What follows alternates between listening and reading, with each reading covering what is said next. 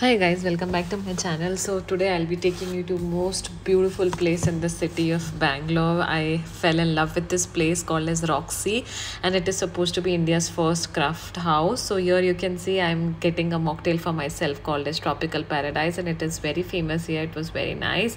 The place has a very different vibe. It's just gorgeous, perfect for family gatherings, a date or your parties as well. So this was the mocktail and the cocktail my friend tried and they have indoor and outdoor seating as there was more food like the crostini with tomato was so amazing. There were dumplings this was the drinks and we enjoyed our time so much. The ingredients are so fresh here guys and the menu is huge. You have so many other cuisines available. We tried the khow suey also which was so flavorful so nice.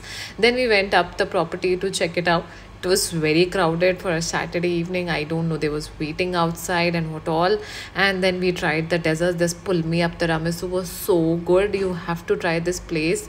And the desserts, they had their own bakery where these desserts were there, made so beautifully and so fresh and tasted amazing. Do check out this place, guys, called Roxie, and follow for more. Please subscribe to my channel. I'm new here and trying to bring you up very good places in the city and of course outside the city in the future. So thanks for watching, guys.